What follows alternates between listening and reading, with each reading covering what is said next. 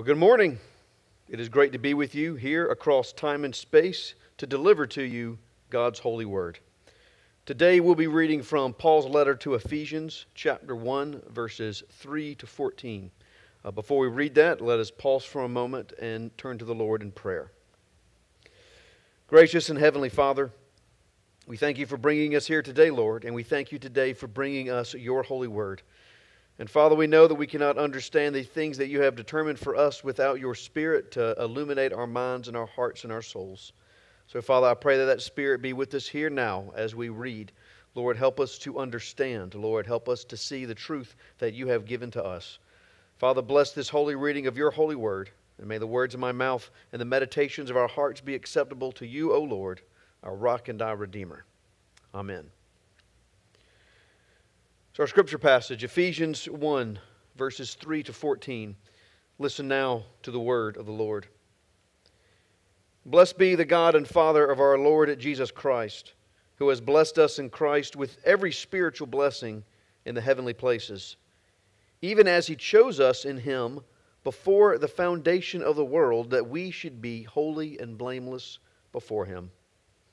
In love, he predestined us for adoption to himself as sons through Jesus Christ, according to the purpose of his will, to the praise of his glorious grace, which he has blessed us in the beloved. In him we have redemption through his blood, the forgiveness of our trespasses, according to the riches of his grace, which he lavished upon us in all wisdom and insight, making known to us the mystery of his will, according to his purpose, which he set forth in Christ as a plan for the fullness of time to unite all things in him, things in heaven and things on earth. In him we have obtained an inheritance, having been predestined according to the purpose of him who works all things according to the counsel of his will, so that we who were the first to hope in Christ might be to the praise of his glory. In him you also, when you heard the word of truth, the gospel of your salvation, and believed in him, were sealed with the promised Holy Spirit, who is the guarantee of our inheritance until we acquire possession of it, to the praise of his glory. This is the word of the Lord. Thanks be to God. So, how many of you remember this time last year? How many of you remember where you were last New Year's Eve? Or just that Sunday after the new year began. How many of you remember the plans that you had for last year? How many of you had any idea of what was coming ahead? You know, this week I went back and looked at the sermon that I preached this time last year. Looked at my sermon the first Sunday, the New Year's Sunday of 2020. And I got to tell you, looking over the things that I wrote, I was very, very optimistic about 2020. The sermon was all about starting over in the right way, but how to kick it off and have a great year. Well, we couldn't have known. We couldn't have known what was going to lie ahead. But here's the real gut punch. Even if you had known what was coming ahead in 2020, what could you have done about it? What could anyone of us have done about it? This, this is a thought that really makes you feel like the small human beings that we actually are. Had we known what was coming in 2020, what could we have done about it? I don't know, maybe buy stock in Zoom, maybe buy stock in mask and hand sanitizer, but there's not much else that we could do. These were events far beyond our control, far beyond anybody's control. And when we think about that, it has us wondering what exactly does 2021 have in store for us? And if we're honest, we got to say there's a lot of us that are a little worried about what's coming next. And I might even say they're afraid of this new year. After all, after all, we do know it could get worse. And I understand this worry. I understand the anxiety we face. I share a little bit of it myself with you. But today I want to come and remind you that fear is no way to start the new year. In fact, if we're going to have any hope in starting this new year, any hope in the days and the months that we have ahead of us, the only way to start that out is to start by trusting that God has a plan. That God has a plan, and that plan is bigger than anything that 2021 is able to throw at us. Now, that's a phrase that Christians toss around quite a bit, isn't it? Trust in God's plan. God has a plan. Well, it's all part of God's plan. Well, you know, this is, after all, God's plan. I think we, we use that phrase a lot and we tend to misunderstand what it means, God's plan, or what God's plan actually it is. Too often, when we talk about God's plan, we talk about it as if everything that happens to us was determined by God. Everything that happens to us was willed by God. And, and a long time ago, God was planning out the universe, and He inserted every little event that happens to us in life. So, whatever happens, we got to say, well, this is God's plan. I get in a car wreck on the way home today. Well, must have been God's plan. God must have wanted me to get in this car wreck. Or I get sick from something. Well, you know, this is God's plan. He must have wanted me to get sick my kid gets tested positive for COVID 19. Well, I guess God wanted him to. Now, I can't always say that the things that happened aren't determined and planned out exactly that way by God. Maybe God did determine some of these things, and I'm sure there's a lot of these things that happen in our life that God wanted to happen just so, and He determined Him by the counsel of His will. But I don't think that is what God's plan is all about. Nor do I believe that that's what Scripture means when it, Scripture talks about living and working in God's plan. The passage I read to you today from Ephesians, this opening chapter of Paul's letter to the church in Ephesus, talks a lot about God's plan. Three times in these few verses, Paul mentions providence and predestination, Presbyterian's favorite word. Listen what it says in verse 4 God chose us in him before the foundation of the earth. So, God here, before we made the foundation, before we started the earth, has already chosen us, has already begun to lay a plan out. In verse 5, it says that we have been predestined to adoption to, to, to God through Christ Jesus. Once again, God has his plan. He's predestined it. He already decided what was going to happen. We were going to be adopted to him. And then in verse 11, we have been predestined according to him who works all things according to his will. We have been chosen by God. We have been predestined by God. And that means God has a plan for us. But Ephesians takes it a little bit further and it talks about this plan and it tells us exactly what this plan is that God has for us. Listen to what it says in verse 9. God has made known to us the mystery of his will according to his purpose, which he set forth in Christ as a plan. You hear that? As a plan. He set forth in Christ as a plan for the fullness of time to unite all things in him, things in heaven and things on earth. So it says there quite explicitly God has a plan, a plan for the fullness of time. And by fullness of time, he just means a plan for all time. A plan that's going to happen when all time, when it reaches what he says, the fullness, which is, reaches the end, the peak, when all time is filled up, when it's all done. This is his plan. It's a plan for the end of time to unite all things in him. God's foreordained plan. And he chose us he predestined us to be a part of this plan. Now, the key part I want you to recognize here is exactly what this plan is. And the plan, as Ephesians tells us, is to unite all things in Christ. To unite all things in Christ, things in heaven and things on earth. And that's all things, everything united in Christ Jesus. You and I, united in Christ, just as we are united here in the church. Our divided world around us, all united in Christ. All separation, all division, all warfare, and all strife, all these things united in Christ. Paul says all things in heaven and on earth united in Christ. That is everything that exists in the realm of the Spirit, everything that exists in the fleshly realm of the earth, all that is broken, all that is broken in the world, healed once again. This is the plan of God. This is what our Lord has predestined for us. This is what He has chosen for us. This is the will of God, what it is working towards through all of history, through the work of His church, through the people of God. And that is what He is working for through our daily, lives.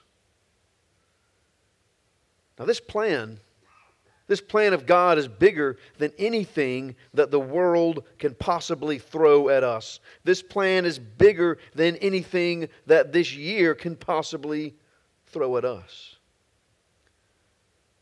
But does this mean that God has planned out every moment of our lives? God has determined what's going to happen of every second of every day that we live. Has God already determined and chosen for us where we're going to live? Has He chosen and determined for us where we're going to work, who we're going to marry, what happens to us? Has, has God already chosen for me that today at lunch I'm going to have the turkey instead of the ham sandwich? Maybe some of those things. Maybe some of those things are determined by God, and maybe a lot of what we do has already been determined by God, but I don't think that's what He means by the plan of God. Instead, when we think about the plan of God, we should think about it the same way a coach or a general makes a plan. The way a coach makes a plan for a game coming up, or, or a general might plan for an upcoming battle. Now, when, when a coach or general makes his plan of action, he doesn't control what the other side does. He doesn't necessarily even control all what is the individual people and his team or his army do. But what they do is they make a plan for what they want to do to counter the enemy. And the plan that the coach or general makes is a plan for victory.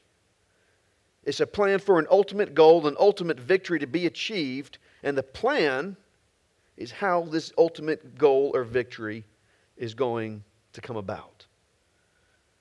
And like I said, that they don't determine what the enemy does, they don't control what the other side does, but they've got a plan to counter it.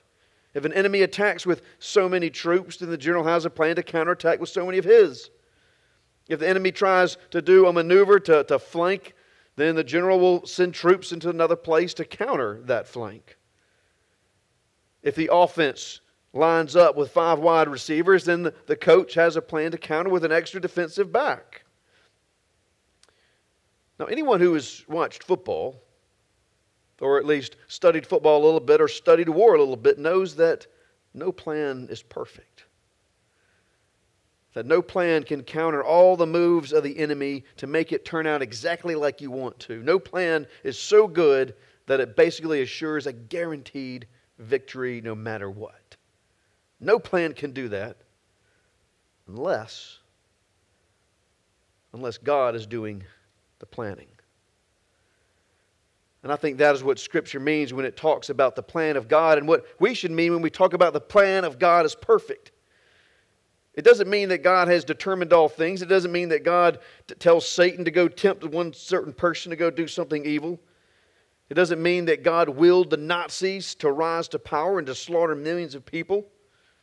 It doesn't mean that God arranges for serial killers to come up in societies and murder people. It doesn't mean that God causes kids to get sick. It doesn't mean that God created COVID 19. But will all these things work to fulfill his plan? Yes, they will. Because the plan of God is perfect. And there's nothing the enemy can do to derail the plan of God.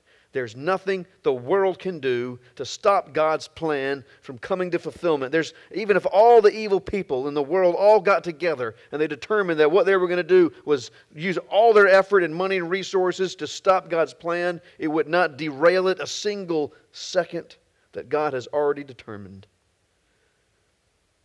It's not because God determined or wanted these bad things to happen to us in his life, but instead it is God's plan, it is his battle strategy is so perfect. Nothing can stop it from happening. His plan for you is so perfect that there's nothing this world can do to stop that plan from coming to victory. There's nothing that, that, that the world can do to me that can stop God's plan for me from coming to perfection. It is the plan of God, and it will be done. You and I and all of us will be united in Christ along with a redeemed creation. God's plan will see us through all we experience to make sure this happens. Because God's plan is perfect. When I worked at hospice, one of my duties was to make bereavement calls. And this was calling on the families of people who had lost someone in hospice and just checking up with them on a regular basis to see how they're doing and if there's anything we could help through their grief process. I remember once calling this uh, gentleman who had just lost his wife, probably about six months earlier. And I called him up, and he, interesting conversation with him, and he told me a story I'll never forget. When I talked to him and asked him how he was doing, he was, said he was doing okay, and he, and he missed his wife terribly, though. Her, her name was Michelle. He missed his wife a lot, and he says, You know, something just happened to me recently that you might find interesting. I want to share it with you. He said, A few months ago, I was scheduled to have surgery. And I got to tell you, I'm, I'm petrified of surgery. I've done it a few times. I've never liked it. And the only way I've ever gotten through the surgery is my wife, Michelle, was there to see me through it. Michelle was always my rock. She always gave me the strength to get through. And, and I was coming up to the surgery. I was missing her more than I think I ever have missed her. And I was very afraid for this surgery. And he said, I was praying the night before I went into surgery. And I'll tell you, I prayed something I probably shouldn't have prayed, but I prayed it anyway as I was praying, I said, Lord, could you please send Michelle to be with me during this surgery? Maybe it's not the right prayer to ask, but Lord, I just really need this for my comfort. Would you please send Michelle to be with me in this surgery? And so the next day he gets up and he is getting ready. He goes into surgery and he's in the hospital and they've laid him out. They've started prepping him and doing all this stuff. And, and he's still very anxious about it as he's telling me this. And he says, at, at, at, the height of my anxiety, a nurse comes in. She stands beside me and says, I'm going to be your nurse with you today, and I'll be with you through the whole surgery. And my name is Michelle. And he said, At that moment, I said, Let's do it. Let's go. I'm ready. It's going to be okay. Now, we had a few kind of chuckle with God. He says, You know, when I prayed to the Lord, I didn't really mean that, but I guess I didn't specify which Michelle I was talking about when I said, Could you send Michelle to be with me? But he did it all the same. And I hear stories like that and I think, how does God pull something like that off? I mean, how do you really pull something that off? For how long did he have to be working and moving behind the scenes to answer that prayer?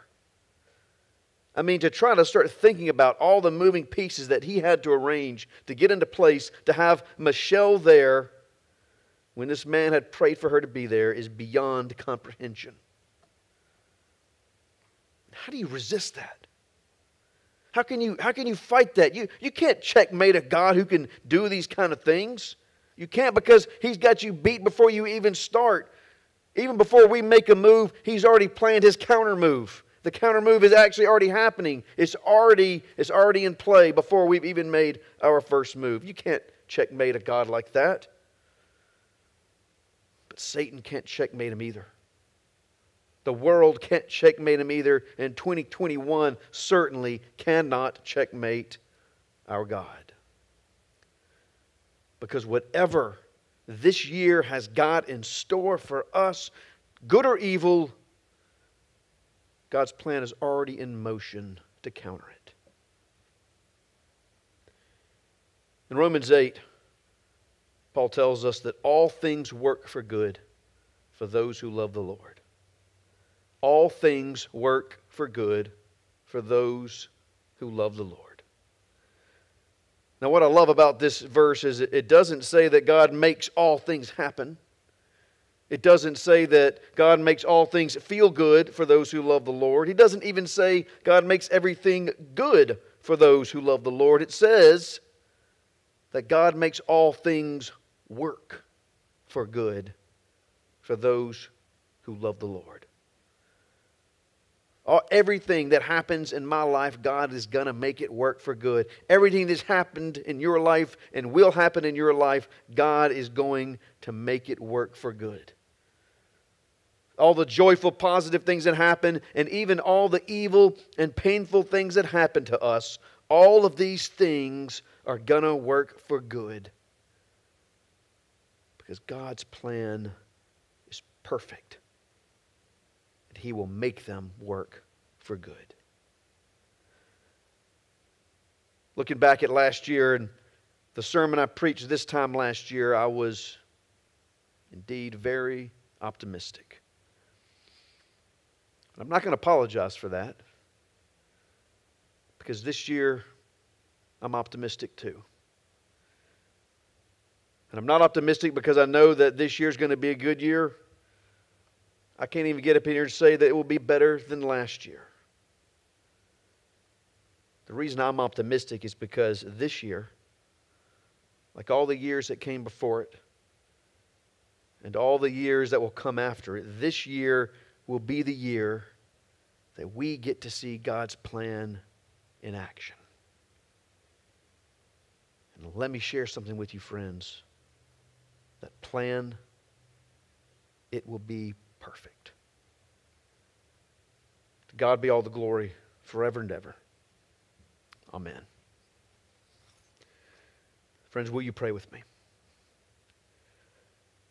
Blessed are you, O Lord our God, King of the universe. Lord, today we come together with thanksgiving to you, Lord, and thanking you for your perfect plan for us. Father, we know when we trust, Lord, we know just deep in our hearts that there's nothing that this world can do to take your plan off the course that you have already set it upon. But Lord, sometimes we doubt. Sometimes we are afraid. Sometimes we see the great power of the world rising up above us. Lord, our fears, they look so big. Lord, they seem to tower over us. Father, we forget about your perfect plan. Father, we let the, the fear of the present and the pain of the present drown out that promise that echoes into the depths of our soul. That's your plan for us, Lord, that you make all things work for good. So, Father, my prayer for you, for us today, Lord, is that you give us that faith, that courage, and to trust, to believe in your plan. Lord, to know that whatever happens to us in life, Lord, that your plan has got us covered already. That whatever ever we encounter in life, Lord, your plan has already got a counter ready. And Father, wherever we go or whatever that we would experience, that you will make it work for good. Father, give us that trust that we can go forth and be your people.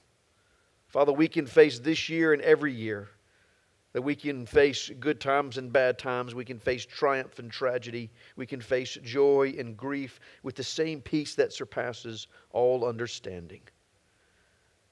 Father, breathe that peace upon us that we might live, Lord, always confident and trusting in your light, in your hope, and in your love. And Father, I pray, Lord, right now that you would hear the cries of all of your people today. Lord, you would hear the silent prayers. Lord, you would hear the loud prayers. Lord, you would hear the prayers that dwell deep in the heart of your people. And Father, it is in faith and trust in you that we lift up these prayers in the name of your Son, our Savior, Jesus Christ, who taught us to pray together, saying, Our Father, who art in heaven, hallowed be thy name. Thy kingdom come, thy will be done, on earth as it is in heaven. Give us this day our daily bread, and forgive us our debts as we forgive our debtors. And lead us not into temptation but deliver us from evil. For thine is the kingdom and the power and the glory forever. Amen.